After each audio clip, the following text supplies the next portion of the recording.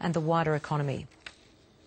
The Australian crew of a petrol tanker have anchored their ship in Port Phillip Bay and are refusing to leave amid fears they're being replaced by foreign, foreign workers. The 18 sailors on board the Tandara Spirit have been defying the captain's orders for the past fortnight.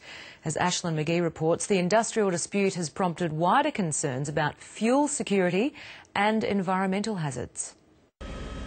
It's a stalemate on Port Phillip Bay.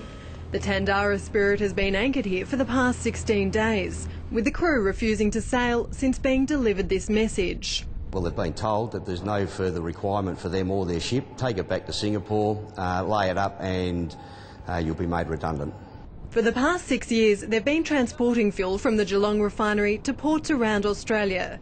Now they fear Viva Energy has replaced them with foreign crewed ships like the E-ship Sama, raided by international inspectors today. They're on basically about $2 an hour for their hard work.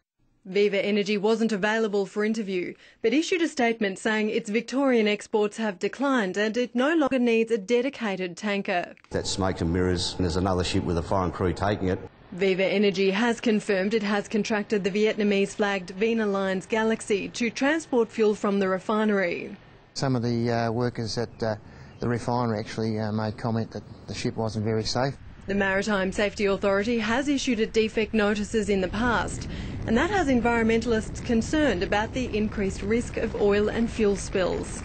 We know from research that once in the water, oil or fuel can have a significant damage on the marine environment and our very special conservation areas in Port Phillip or Western Port Bay. The industrial dispute playing out on Port Phillip Bay is part of a larger national debate about our fuel security.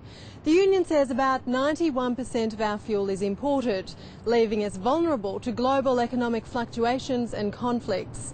It's currently the subject of a parliamentary inquiry.